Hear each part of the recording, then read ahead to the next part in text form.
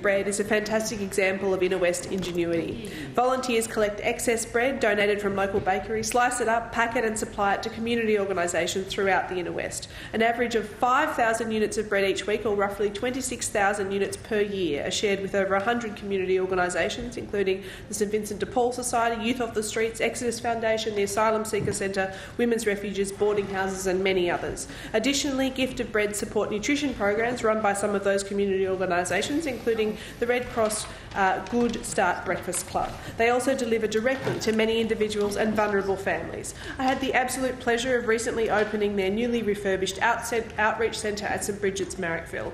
It's right here every night. You can meet volunteers preparing the simple gift of bread for those in need. I pay tribute to Marcel and De Maria and his amazing team of volunteers, as well as directors Valeria Enrigo, Joe Gonzalez and Nick Trapia, and again congratulate them on oh. taking a simple idea and making a Thank huge impact in our community. I